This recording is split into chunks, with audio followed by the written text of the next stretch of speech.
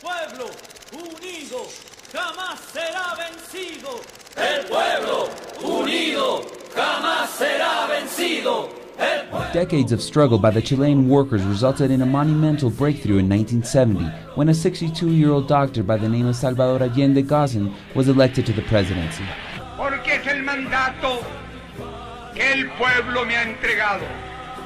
No tengo otra alternativa. Solo acribillándome a balazos podrán impedirme voluntad que hacer cumplir el programa del pueblo.